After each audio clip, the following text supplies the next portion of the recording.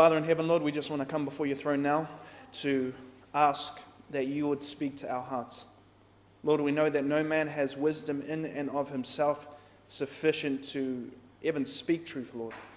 But Father, we know that your word tells us in Zechariah 8:16, "Speak ye every man the truth to his neighbor."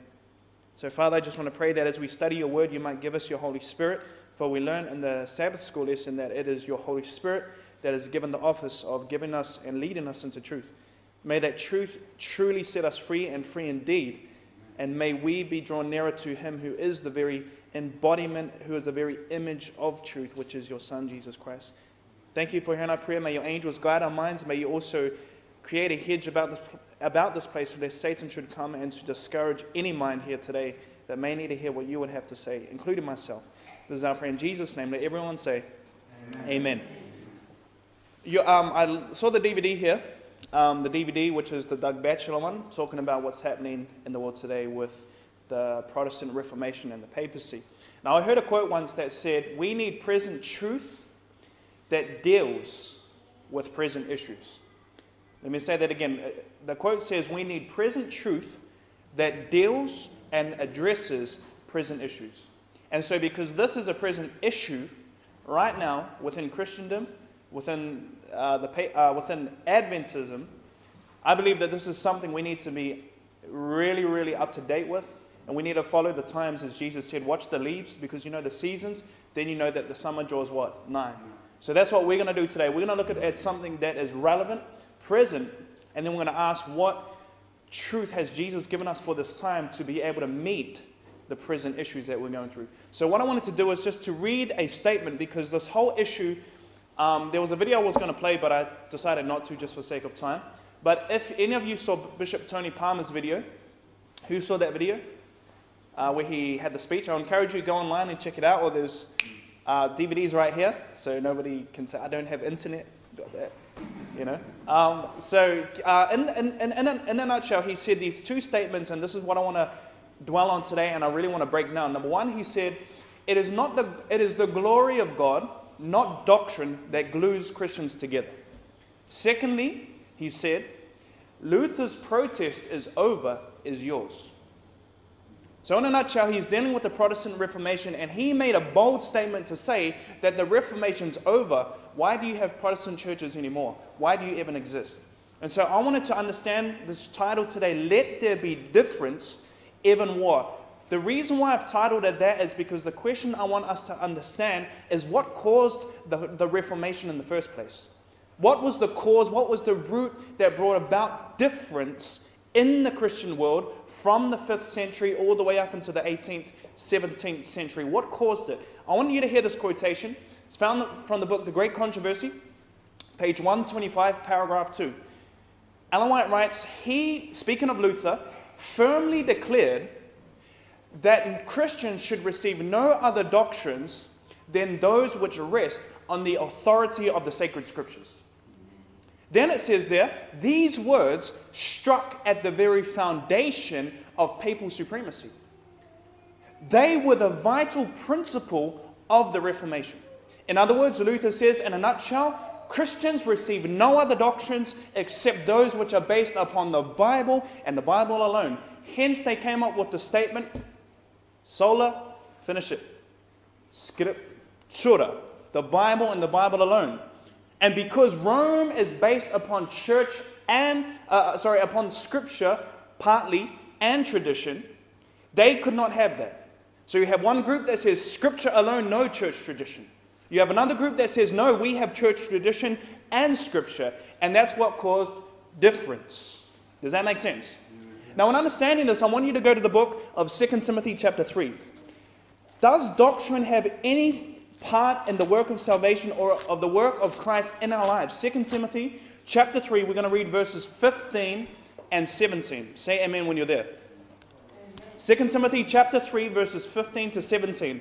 where does doctrine derive from and what benefit does it bring to us? Because if it caused a difference, there must be something important that, the, that Luther and many of the reformers saw in doctrine that was necessary to be held onto and, and therefore even at the sake of a difference happening. 2 Timothy chapter 3 verse 15, are we there? The Bible says in verse 15, and that thou hast known the, from, from, from a child the holy scriptures Notice what it says there, which are what? Able to make thee wise unto what? Salvation through faith, which is where? In Christ Jesus. So the scriptures have the ability or the office work of making us wise unto what? Salvation. And Jesus said, uh, the Bible says, speaking of Jesus, um, in Matthew 1 21, speaking of his birth, and thou shalt call his name Jesus, for he shall save his people from their sins. So the work of salvation would be delineated or shown us in the Bible, and the Bible would be a tool for God to make us wise unto salvation from what? Sin. Now read verse 16. Verse 16 says, All scripture is given by what? Inspiration of God and is profitable. What does that mean? It means you can get something out of it, you can get a benefit from it, from scripture. It says, All scripture is profitable for doctrine. What did it say? doctrine, for reproof, for correction, for instruction in righteousness. So, does the Bible make it clear that Scripture profits us in even doctrine? Yes. But Scripture is also able to make us what? Wise unto salvation. So, the source that makes us wise unto salvation also teaches us doctrine. Now, notice what happens in verse 17. There is a practical reason why we have Scripture, why we have doctrine, and how it is to be brought not just into knowledge, but even into experience. Read verse 17. That the man of God may be what? Perfect, thoroughly finished unto good words, good works. Thoroughly furnished unto good works. That's action. That's living out what you have learned and your knowledge and putting it into practice. Amen? So the scriptures not only do they give us wisdom unto salvation, they make us, they also profit us for doctrine. But as the Sabbath school taught, when we have this knowledge, it becomes a part of our experience unto good works. That's why Ellen White writes in Selected Messages, Volume 1, Book 1, page 20, the Bible was given for practical purposes. Practical. That means that what comes into the knowledge must come into the life. So, in other words, what you understand will affect how you live. That's why Proverbs 23 7 For as he thinketh in his heart, so is he. So, there is an effect that what we understand about the scriptures will have an effect of the life we live. Now, Jesus said there, and remember what Jesus said, speaking of doctrine, because here, one, the here Tony Palmer is saying we should have unity regardless of doctrine. But notice what the Bible says in John 5:39. Jesus says here, "Search the scriptures." The scriptures is what we just read about, profitable for doctrine, also to take our knowledge which will make us wise unto being saved and put it into practice in our life and good works. Amen. And then we now see in John 5:39, Jesus says, speaking of these very scriptures from which we get doctrine, search the scriptures for in them you think ye have eternal life, and they are they which testify of who? Of me. So, can you have Jesus without the scriptures? No. Because the scriptures testify of who? Jesus. So, this would make sense that if scriptures point to who? Jesus, and the scriptures are profitable for doctrine, that would, make, that would mean that Christ would have to be the center of what? Doctrine. There is a movement in our church that is saying, I only preach love, I don't preach doctrine. I only preach the love of Christ, we don't preach doctrine. Brothers and sisters, doctrine should make Christ the center. This is why Ellen White writes in Testimonies to the Church, volume 6, page 53, paragraph 3 every true doctrine makes Christ the center. Because Scripture is about Christ. And Scripture is where we draw our doctrine. So to have Jesus and shun doctrine, that is because people have the wrong idea of doctrine. Doctrine is, should never be separated from Christ. Amen? It should be centered in Christ. Even health, even the health message. That's why we're told that health principles, encounters and diets and foods should never be separated from the third angel's message. So every dynamic, everything we teach should be in the light of Christ and his work for salvation. Are we following? Amen. Amen. Now, who remembers the apostles when they were imprisoned? The Bible says in Acts 5 27 28, it says, And when they had, and by the way, I just have to throw some scriptures out just for sake of time, but we're gonna, I'll point you to the ones we're going to go to. But in Acts 5 28, the apostles had been put in prison. Then the angel of the Lord came and pulled them out and said, Go into the temple and speak the words of life. And in Acts 5:27, when they were brought before the council, notice their mindset about doctrine. And notice what these, the, the council accused them of. Acts 5.27, and when they had brought them, the apostles, they set them before the council, and the high priest asked them, saying, Did we not straightly command you that you should not teach in his name? Whose name do you think they were teaching in? The name of Jesus. But listen to the second accusation. It says there, it says, And behold, ye have filled Jerusalem with your doctrine. Let me say that again. Here they've been accused of teaching in the name of who? Jesus. Then they're accused of filling the land with what? Doctrine. Why? Because Scripture testifies of who? Jesus. And Scripture is the source from which we gather our doctrine. Therefore, it makes sense. If you're preaching in the name of Christ, you should be preaching doctrine in the context of understanding the love of Christ. This is why it's not enough just to eat healthy without love for Jesus. That's why it's not enough to dress up wonderful on Sabbath and in our heart we just do it for the sake of self righteousness. Everything we do, every doctrine, tithe, health, you name it, Christian behavior, marriage should be centered around Christ, our righteousness. You don't just be healthy and become a healthy, wicked individual. And we know, and, and, and those that are involved in medical missionary know that the work of medical missionary work is not only, as Ministry of Healing says in the first chapter, to bring health, life, and peace, but perfection of character. It's intertwined. So, doctrine here is centered in Christ. So, how can you have Christ without his doctrines? Now, notice what we read here. Go to the book of Hebrews, chapter 5. Hebrews 5. I'm going to read something in verse 12 to 14. Are we following so far? Amen. Let me see your hand if you're following. Amen. Because I had a few voices. Hebrews 5, verses 12 to 14. Notice one of the impacts we find here in Hebrews chapter 5, verses 12 to 14. Are we there? The Bible says, Therefore, when for the time ye ought to be what? Teachers, ye have need that one teach you again, which be the first principles of the oracles of God, and have become such as have need of milk, and not of what? Strong meat. Verse 13 For everyone that uses milk is unskillful in the word of righteousness, for he is a what? Is a babe. Verse 16, uh, 14 But strong meat belongs to them that are of what? Full age, even those who by reason of use have their senses exercised to discern both good and what? Evil. Now, is, is the writer of Hebrews speaking about eating meat and eating, drinking milk literally? The reason why we know this is go to Hebrews chapter 6 and read verse 1. Are we there? Therefore, leaving the principles of the doctrine of what? Hebrews 6 1. Let me say that again. Therefore, leaving the principles of the what? Doctrine of Christ, let us go on unto what?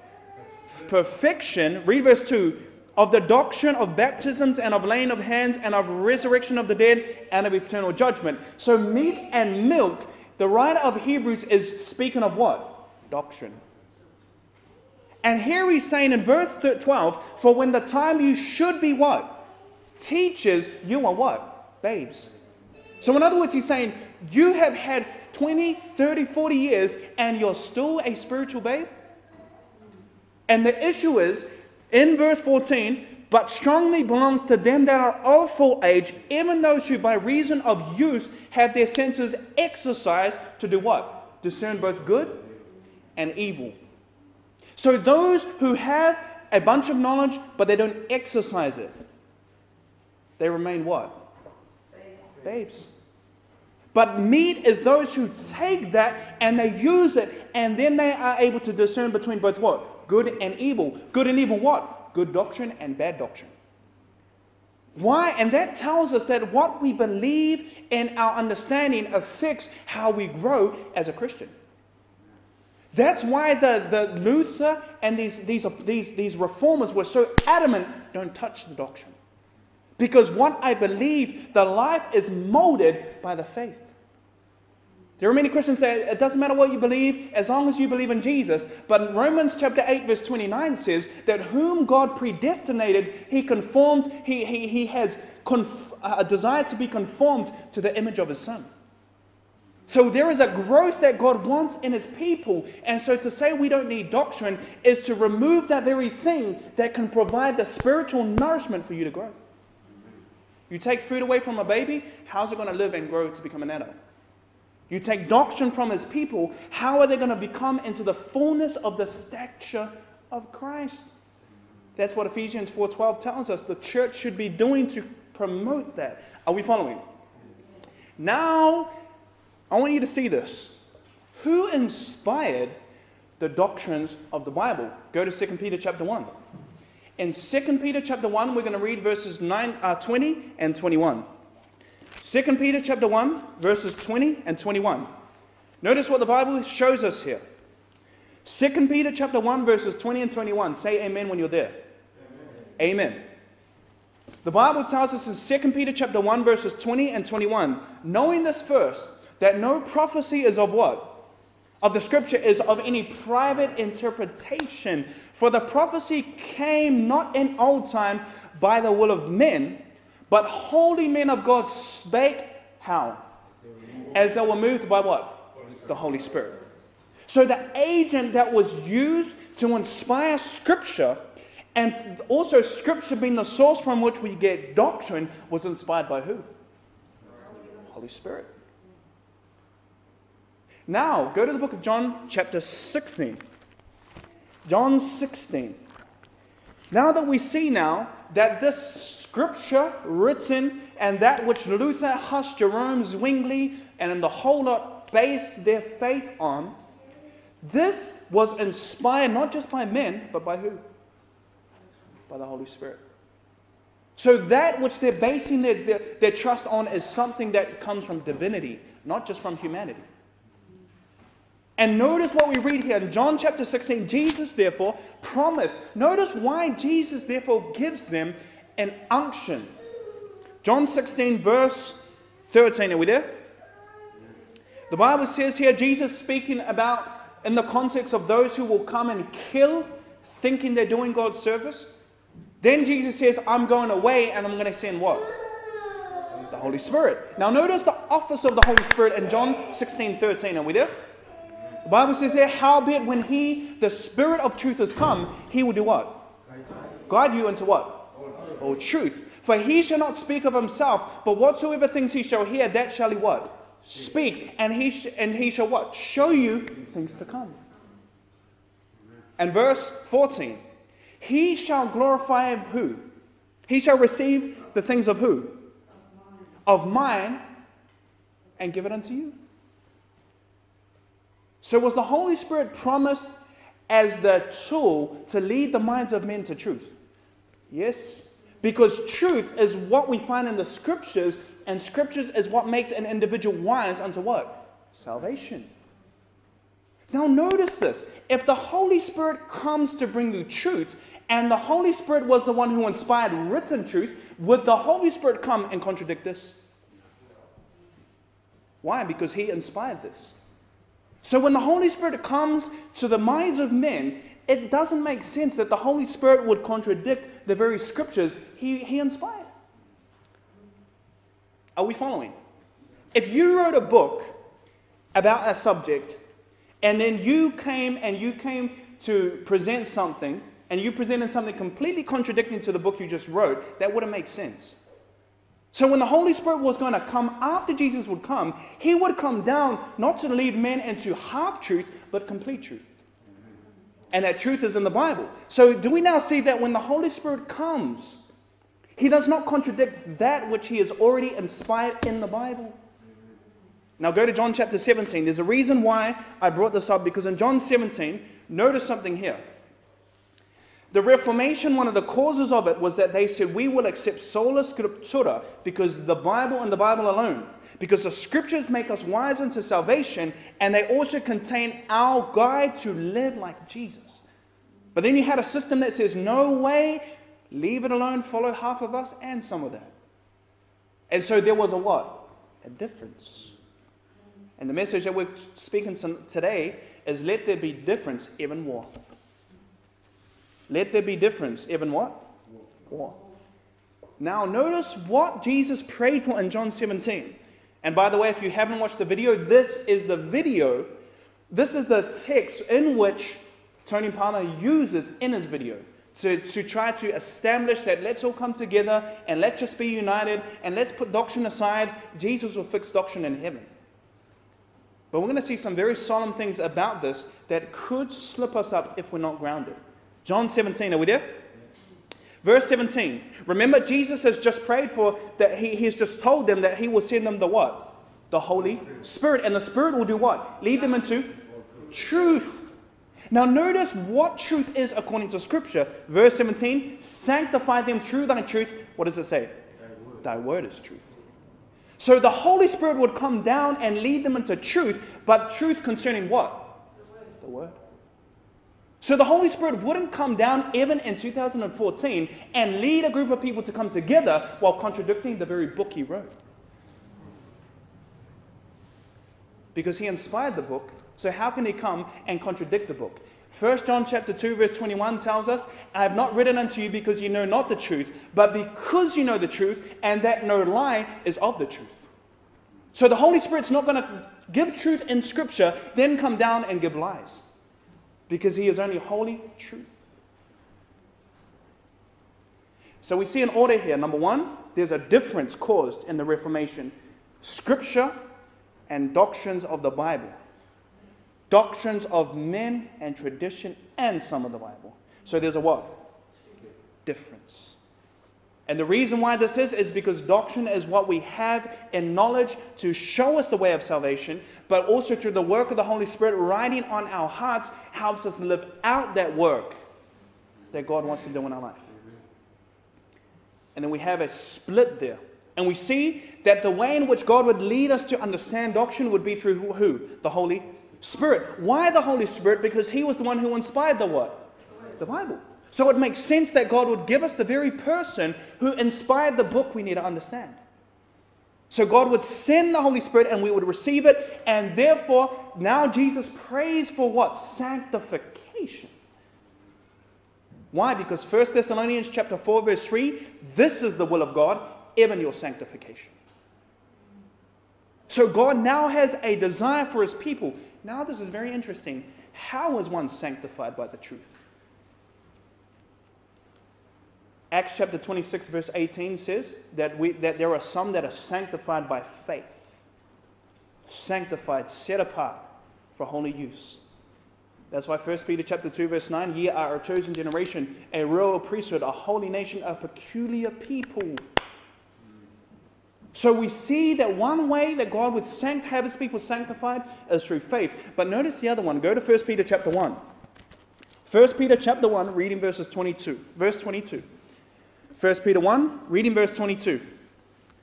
Notice what the Word of God tells us. 1 Peter 1, reading verse 22. One of the great ways that the Holy Spirit will work is not only to lead our minds to understand truth, but He will also lead us to do something else. I want to ask you a question. Is the, is the Holy Spirit, according to the Bible, given to those that disobey God? Who would say yes? What does the Bible say? Acts chapter 5, verse 32. The Holy Spirit, whom God has given to them that what? Obey Him. The Holy Spirit does not come down to ascend upon a people to bring unity in a group of people that want to disobey. Because the Holy Spirit never works in such a manner. He leads to truth. And whether we're ignorant of that, or we just don't know, or we're, we're rejecting that, the Holy Spirit wants to lead us to truth. But notice what else the Holy Spirit also wants us to be led to. 1 Peter 1 22. Are we there? Are we there? Bible says there, seeing ye have done what? Purified, Purified your souls. How? And obeying the truth.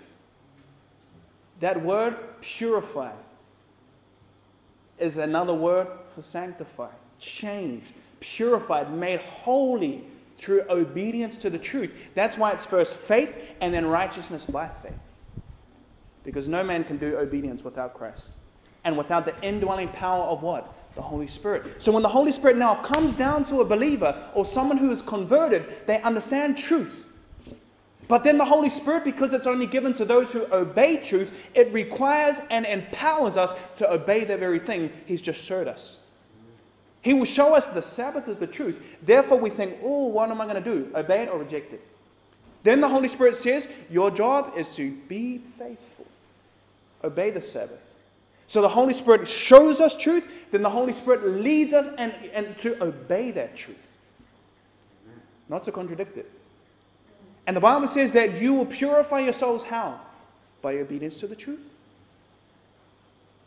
That's why Ellen White writes in Great Controversy, page 608. I have seen, uh, before the storm approaches, a large class who have professed faith in the third angel's message, but who were not sanctified by obedience to the truth. They will abandon their position and join the ranks of the opposition. How? By uniting with the world and partaking of its spirit, they have come to view matters in the same light. Remember, if you don't follow in the ways and, and, and growing from spiritual milk to meat, you will not be discerning good and evil. So, you know, there are many Adventists who are not switched on who will be deceived by that video because they're not studying the Bible. That man speaks with such persuasion and such a calm manner that many people who don't know the Bible would say, Surely that man is a man of God. But for those who are spiritual minded, they say Isaiah chapter 8, verse 20, to the law and to the testimony. If they speak not according to this world, finish it with me. There's no light in them.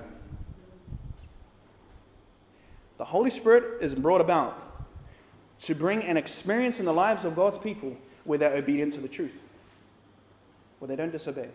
Now, notice the order here that Jesus prayed for. It. Go back to John 17. John 17, John chapter 17. Notice this order that Jesus prayed for in John chapter 17. Are we there?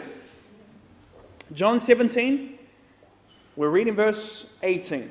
As thou hast sent me into the world, even so have I also sent them into the world. And for their sakes I sanctify myself, that they also might be sanctified how?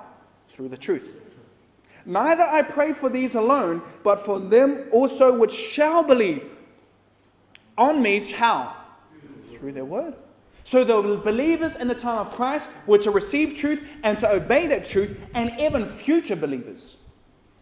From the time of Christ, even up until the second coming, would have to be individuals who would become disciples through the word. Not through tradition. Not through what we call the doctrines of man. It says, Neither I pray for these alone, but for them which shall believe, future. Verse 21, that they all may be what? One. One now, if you heard that video from Tony Palmer, this is exactly the text he read. That they all may be one. But, brothers and sisters, we saw that before there is unity, there's sanctification through the truth. And before there is sanctification the, through the truth, through the work of the Holy Spirit in our heart, there is a leading to the truth by the Holy Spirit. Are we following? Before there is a unity, there is a sanctification in the truth. And before there is a sanctification of obeying that truth, I first must be led to see that truth. And that's the work of the Holy Spirit. So there is an order. The Holy Spirit comes to the believer, shows him truth. Then he calls him to obey that truth through the power of the indwelling Christ or through the Holy Spirit's power.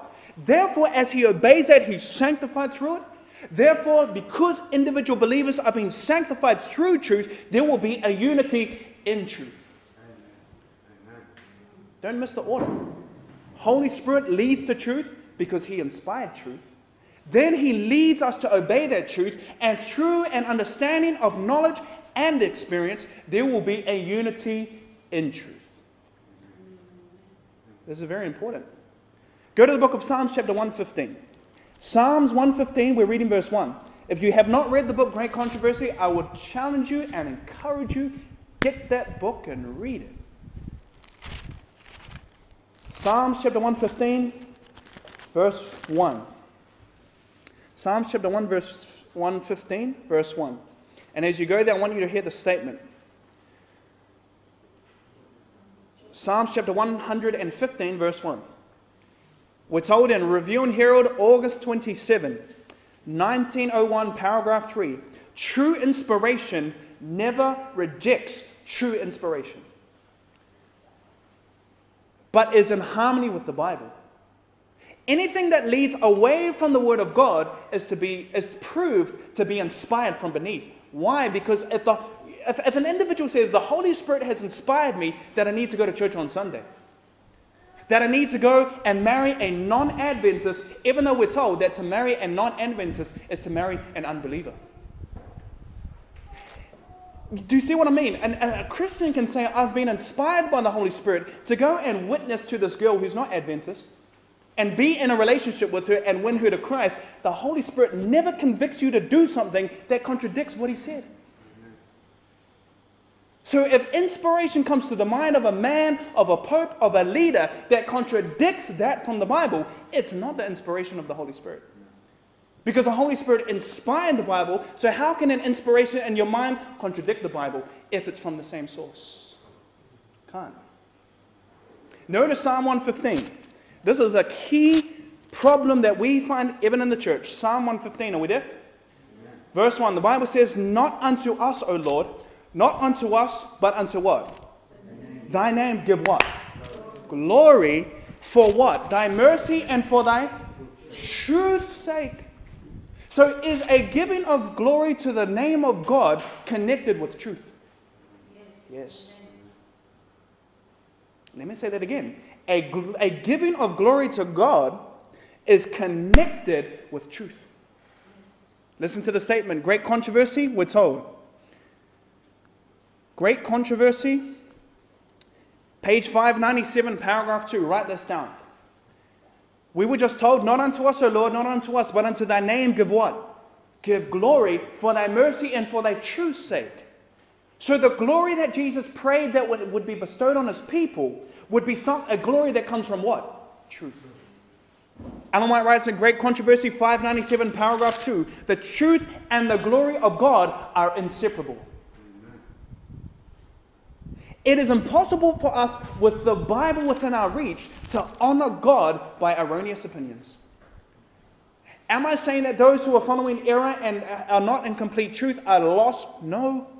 But what I'm saying is that even though there are individuals who are living in error and they're Christians and they're worshiping Sunday and they're following wrong doctrine, I'm not saying they're lost. But what I'm saying is sincerity is never a replacement for sound doctrine.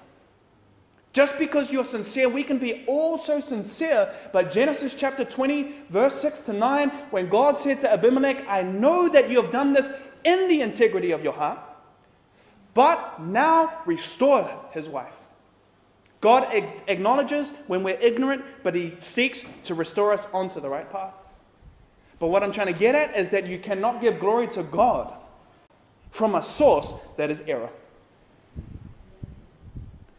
You can be also sincere and say, I give glory to God by keeping Sunday, but that's not based on Scripture, therefore it can't give glory to God. That doctrine leads from Scripture, and how we live is what will be represented in good works and our life, and that's what will give glory. By the way, what is the glory of God? Speak to me. It's character. Where would we find that in Scripture? Exodus chapter 33, verse 18. Moses said unto the Lord, I beseech thee, show me thy glory. And he says, I will make all my goodness pass before thee. I will proclaim the name of the Lord. I will be just, unto whom I will be just and merciful, and so forth. So we see that the character of God is what? His glory. That's why Faith I Live By, page 84, paragraph 2, Spirit of Prophecy says that when Moses said, Show me thy glory, he was showing God's character. So the glory, in other words, is connected to truth. Therefore, when there is a unity of the body of Christ, there can never be a unity and glory in error. There can be no unity on error in the body of Christ. Because how can Jesus be the head of truth and have a body of error? He can't.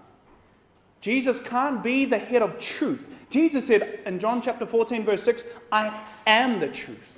So, how could you have a head of truth and a church of a body in error? Because the head controls what? The body. And the head is where the brain and the mind resides, and Jesus is truth. So Jesus would communicate to his body actions of truth.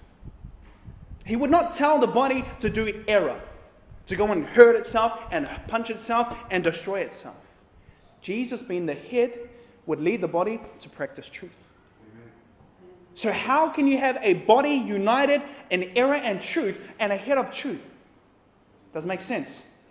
No lie is of the truth. So Jesus is the truth. How can he have a body in error?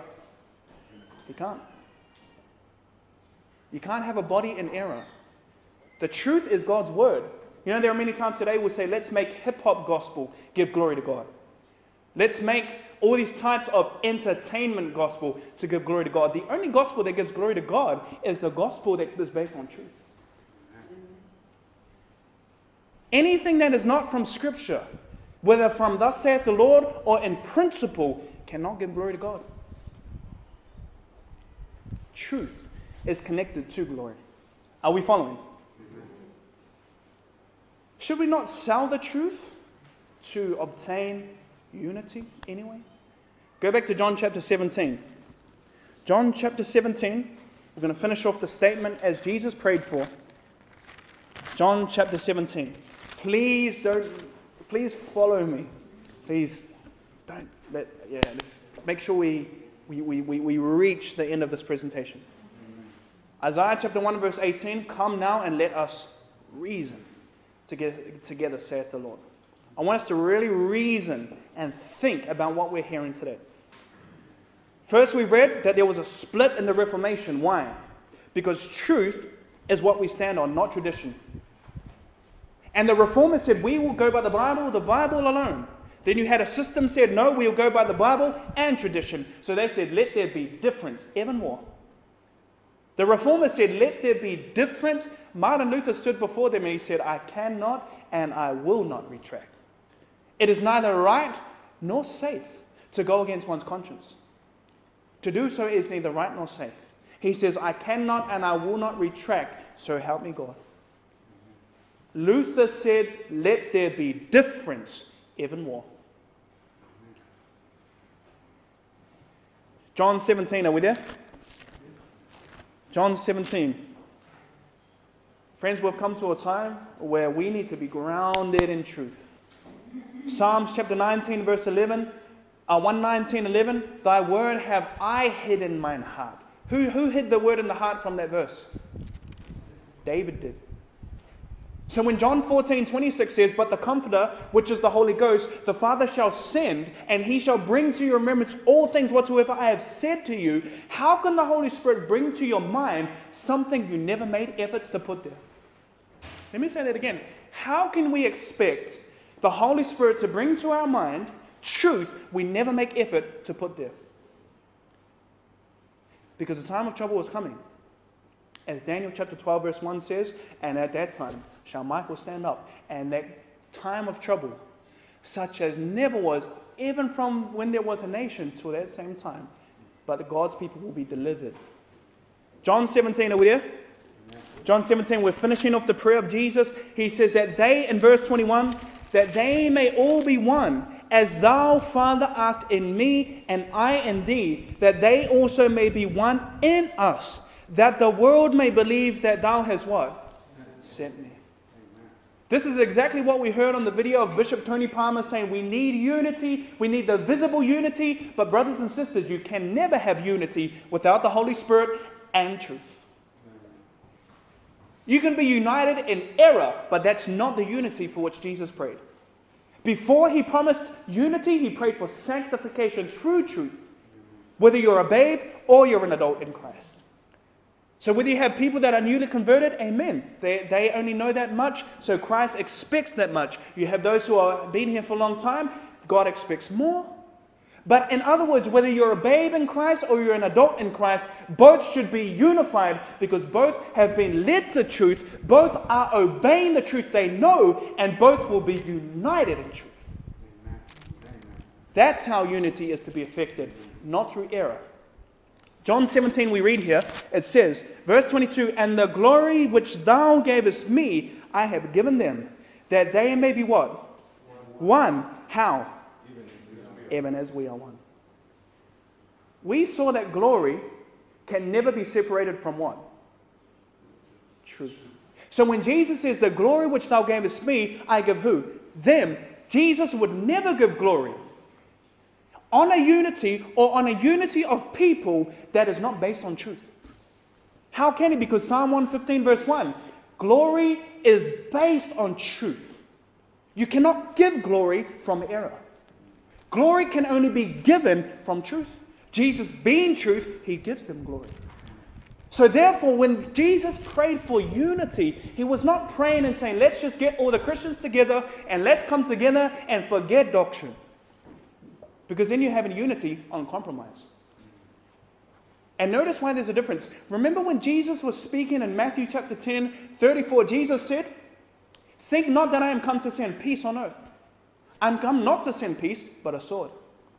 Verse 35 for I have come to set a man at variance against his father, and a mother, a daughter against her mother, and a daughter-in-law against her mother-in-law. Verse 36 of Matthew 10, and the, and, the, and a man's foes shall be they of his own household.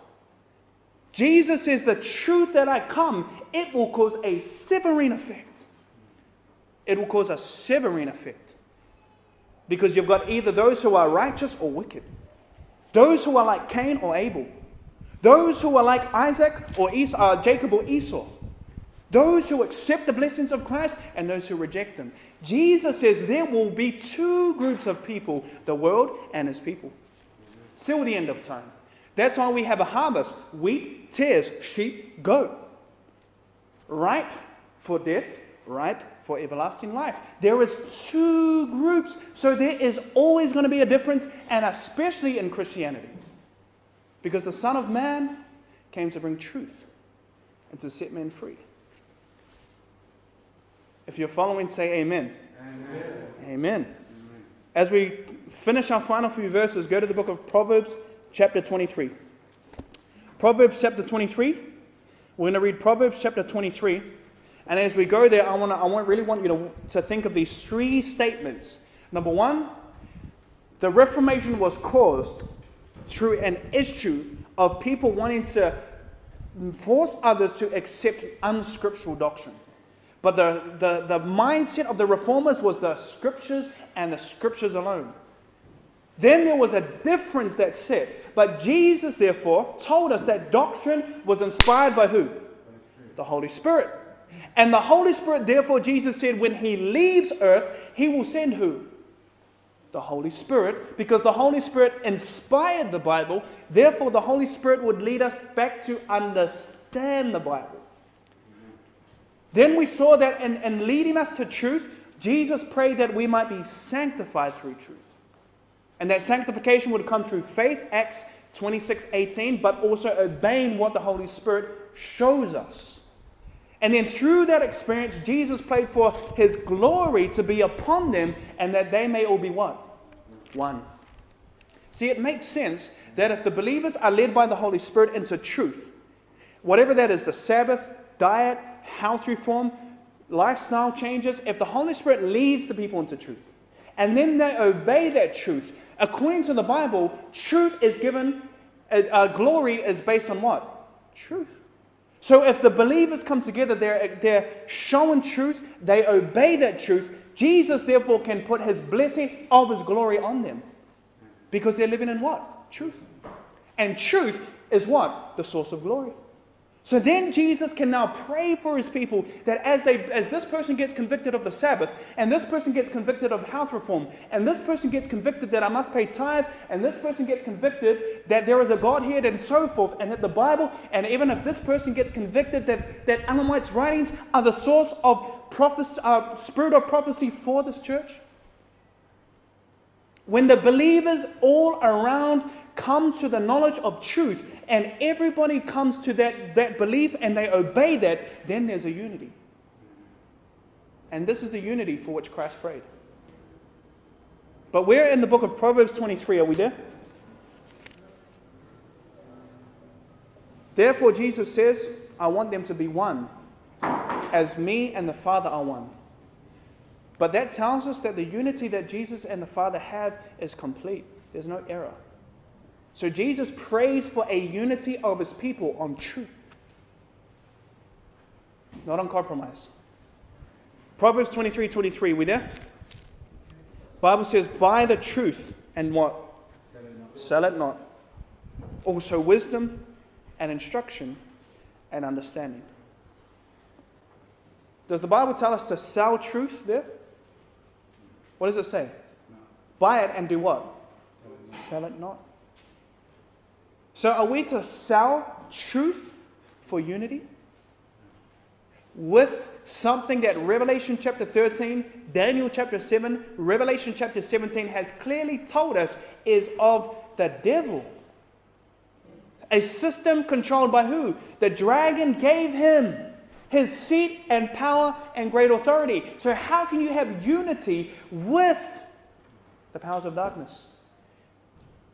We're told in 2 Corinthians chapter 6, verse 14, Be ye not unequally yoked together with unbelievers, for what fellowship hath righteousness with unrighteousness, and what communion has light with darkness? The, the answer is implied in the question, none. There can be no unity on error. This is why we find that this video and this message that is going to the world is not from above. It cannot be from above. How can Jesus commission a unity, a unification of people based upon error and based upon doctrines that contradict what he said? Jesus could never commission such unity. Jesus only commissions that unity which comes based on the Bible. And this is why it's important. If we don't understand our Bibles, we are going to be swept away. If we spend more time watching movies and listening to the music of the world and spending more time staying up late to watch sport, and we wouldn't dare spend that time in prayer, and we are not fixing the word of Jesus in our mind, how can we be sing songs like Jesus is coming again and yet fail in preparation? Manuscript releases, book 20, page 64, paragraph 4. Ellen White writes, The time will come when many will be deprived of the written word. But if this word is printed in the memory, no one can take it from us. It will be a talisman that will, that will meet the worst efforts of evil. Brothers and sisters, we're going to finish in the book of Deuteronomy, chapter 20. Deuteronomy chapter 20. Deuteronomy chapter 20. We're going to see a principle of war. Actually, this will be our second to last verse, Deuteronomy 20. As we go there, I want to read a statement. Our High Calling 329. Jesus prayed that his followers might be one. We're going to Deuteronomy 20, verses 10 to 12. But we're told in, in um, our High Calling 329, Jesus prayed that his followers might be one, but we are not to sacrifice the truth in order to secure this union. For we are to be sanctified through the truth. Here is the foundation of all true peace. Men would try to affect unity through concession to popular opinion, through compromise with the word, and sacrifice of vital godliness. But truth is God's basis for the unity of his people. The wide diversity of belief in the Protestant churches is regarded by many as decisive proof that no effort to secure a forced uniformity can ever be made. People are saying there's no way that the evangelicals will go over to the Catholics. There's no way that the Methodists or the Lutherans would do it. They already did it. 1999, they signed that agreement. unity on common doctrine. Not the evangelicals, but the Methodists and the Lutherans. That's why they had a picture in one of the German magazines with Luther saying sorry to the Pope. It says here, there has been for years in churches of the Protestant faith a strong and growing sentiment in favor of a union based upon common points of doctrine. To secure such a union, the discussion of subjects upon which all were not agreed, however important they might be from a Bible standpoint, must necessarily be waived. In order to effect this union that they're calling for, they're going to have to put away all the doctrinal differences. Why? Because there can be no unity in that. The only way to get unity without truth is to have error. And many of these people want this because they don't want to uh, annoy people. And, brothers and sisters, do you know it's even coming into the minds of Adventists to say, oh, we preach love, we don't preach doctrine. That's foolish. If we say that we are going in line with Rome, to say, oh, let's just preach the love of Christ, but we saw Scripture should be centered in Christ. So, how can you preach the love of God as delineated in the Bible and separate it from Christ? You can't. Scripture must be given in the context of understanding the love of Christ. This is very sad. You know, when I saw this video, I thought of ministers that I have heard, even from friends, that are saying the exact same thing. There are ministers, even in our pulpit, saying, We preach love, we don't touch doctrine. That's why you have young people that come to church for entertainment, not for the gospel. There are churches where young people have no interest in the Bible. Come to church, couldn't care less, on phones, texting, in the presence of a holy God. Because our church is following the mindset. Many, I'm not saying all, many are following this mindset. They think you have to hype the young people up to secure truth. They think you need to hype the young people up, bring multitudes in, but all you do is bring in unconverted hearts that are going to be a distraction to the truth. God says truth is my basis for unity. Let's bring hip hop gospel and rock gospel, and let's not preach prophecy and don't preach the three angels' messages because that's too harsh. That's foolishness. Let's not preach this because the young people are going to up and leave. So be it. If it means that they go home from war and they come back with a full heart, so be it. Let us not follow the ways of the world. Let us not compromise with it. Let us, brothers and sisters, there are young people that are willing to hear truth. Because John chapter 8, verse 32, it is only truth that makes you free. And 2 Peter chapter 1, verse 12, we are called to be established in present truth. What is present truth? Early writings, page 63. Present truth is the sanctuary message in connection with the 2,300 days, the commandments of God and the faith of Jesus. That's present truth. And this is why we need to be educated. Deuteronomy 20, are we there? Deuteronomy chapter 20. The Bible says there, we're going to read verse 10 to 12. Speaking of the laws of warfare, when Israel would go to war, there was only two options peace or war. Deuteronomy 20, verse 10 When thou comest nigh unto a city to what? Fight against it, then proclaim peace unto it. And it shall be, if it make thee answer of peace and open up unto thee, then it shall be that all the people that is found therein shall be tributaries unto thee, and they shall serve thee. And if it will make no what?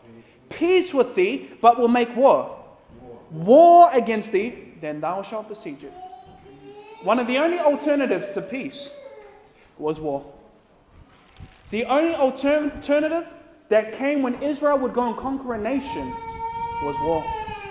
If that nation that they went to go and conquer and to proclaim peace unto, if they pro- promoted peace and that country said, No peace with you, difference, then they said, There will be war.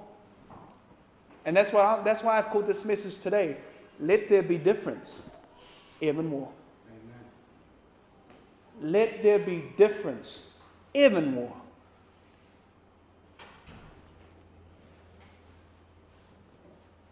We're going to finish in Psalm 119. Psalm 119, this is our final passage that we're going to read. Psalm 119, verse 126. Psalm 119, verse 126. Brothers and sisters, I have seen young people give their lives to Jesus through accepting the three angels' messages. I've seen young people come from the world, come from smoking pot, doing drugs, doing all these things to come and give their life to Christ. Young people, especially, I want you to think where is your time? Are we spending more time in the games and in fashion and obedience to fashion and worrying about what's the next high time kicks that come and that, I, that I can get them or where can I spend my money or which friends can I look? Brothers and sisters, that is all temporary. We need to put the kingdom of God first in our life. If we're spending more time in video games, put that away. Study God's word. If we're spending more time reading novels or fiction, put that away. Pick up the books of the Spirit of Prophecy. If we're spending more time just trying to be like the world and trying to get the fashions of the world, study White's writings and, and the Bible and see what constitutes humility and modesty. See what God would have us to think because, brothers and sisters, we are on the borders of Canaan. Are we going to be like Joshua and Caleb and say, let us go and possess the land? Or are we going to be like the other 10 spies and say, oh, let's just chill? Those that chill are going to be those who get left on the borders of eternity. We want to enter those gates of eternity. Psalm 119, are we there? Psalm 119. Are we there? Verse 126. Final passage. Psalm 119, 126. The Bible says there, It is time for thee, Lord, to work, for they have made void thy law. Therefore I love thy commandments above gold, yea, above the gold. Therefore I esteem all thy precepts concerning all things to be right, and I hate every false way. It is time for the Lord to work. For the world is making void God's truth and hence God's law. Because Psalm 119, 142 says, Thy righteousness is an everlasting righteousness, and thy law is the truth. So the, so the world is sacrificing truth, yea, God's law, for unity. And the Bible says, David prayed, It is time for you, Lord, to work, for they have made void your law, your truth, your word, everything that Christ was sacrificed for. They are putting, Martin Luther said this Cursed be that unity for whose sake the word of God is put to stake. Let me say that again. Luther said, Cursed be that unity that, that is that um, for whose sake the word of God is put to stake.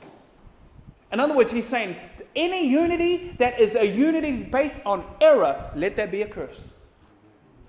Because the Bible says in Jeremiah 17, verse 5, Cursed be the man that puts his trust in man and makes flesh his arm and whose heart departs from the Lord. If we have a unity throughout Christendom coming from the words and the, the so called logic and wisdom of men, let that be accursed. Because no man has wisdom, spiritual things, spiritually discerned. That's why we need the Holy Spirit. 1 Corinthians 2:14. Spiritual things are spiritually discerned. The natural man does not receive the things of the Spirit of God, for their foolishness unto him. They're spiritually discerned. And in closing, I want you to hear the statement. Final statement. Great Controversy, page 45, paragraph 3. Great Controversy, page 45, paragraph 3. After a long and severe conflict, the faithful few decided to dissolve all union with the apostate church if she still refused to free herself from falsehood and idolatry. Now, this is not talking about leaving the Seventh day Adventist church. This is talking about Rome in the times of the Reformation. They had become corrupt, they accepted unscriptural doctrines. And therefore, these people said, Let us separate. They saw that separation was an absolute necessity if they would obey the word of God.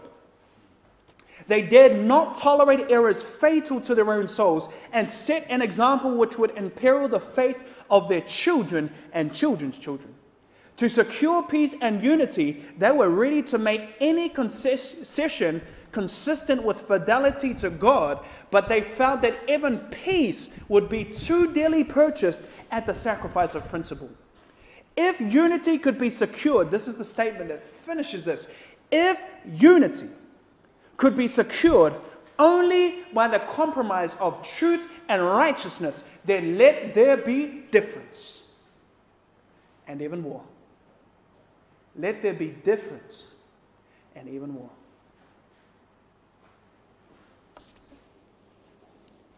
Let there be difference and even war. Are we willing to stand truthful to God's ways? Because, brothers and sisters, we are called to be intellectually and spiritually grounded in the truth. The Bible says in Ephesians chapter 4, verse 14, that we henceforth be no more children, tossed to and fro, being carried about with every wind of doctrine. The Bible says that, that some children that are still milk and who remain in ignorance are those in the sense of being carried away by doctrine. 1 Timothy chapter 4 verse 1 Now the Spirit speaketh expressly that in the latter times some shall depart from the faith and give heed to seducing spirits and doctrines of devils. So, if we're going to join a unity that says, don't worry about doctrine and let's just be united, how can we join that knowing that Paul and the apostles warned that in the last days there will be some who would depart from faith through doctrines? So if we say, regardless of doctrine, let's be united, how do we know we're not departing from the faith and being led by doctrines of devils? The Word of God is our standard of righteousness. No error can take the place of that. Three points today. Number one, God would give the Holy Spirit to lead us into truth whether it's God's law, whether it's God's word, whether it's even the gift of tongues, whether it's the Sabbath, every truth that we have learned has come as a result of the work of who? The Holy Spirit. Then the, the, the, the Holy Spirit would lead us to that truth and call us to do what? Just look at it, obey it then as we obey that, we will be purified, sanctified through faith and obedience in the truth. And that would bring about an experience individually in each believer. Then Jesus could put his glory on them and bring about unity. So, three things. Holy Spirit leads us to truth. The Holy Spirit calls us and empowers us to obey that truth and to be sanctified and changed through that experience. And then the glory of God is what will unite us in truth. That's how unity is to be affected in God's church. Never through error, only through truth. And I want to make a short appeal to you.